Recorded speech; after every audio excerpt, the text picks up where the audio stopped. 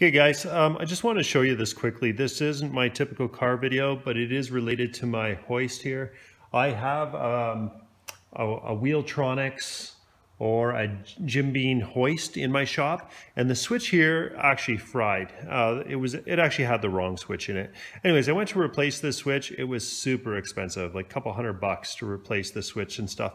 And it turns out uh, when I get looking at what they were selling me is they're selling you a micro switch. So uh, this is a motor rated micro switch. Uh, I'll talk about that in a second. And then this little thing here, this little piece of plastic, which uh, the micro switch just clips into here.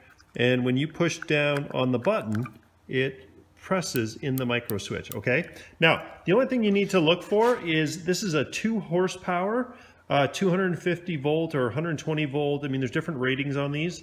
Micro switch, just go to your local electronics store and uh, find out what micro switch uh, has the ratings you need for your motor. Okay, this is um, this is a V7-1Z19E9. Um, I'll try to put that in the description as well. This here is actually from an arcade uh, for well for an arcade machine. So it's designed for micro switches. Um, you put the micro switch on here on the arcade machine. This is the coin op one. So every time I push in here, I get more coins for my hoist.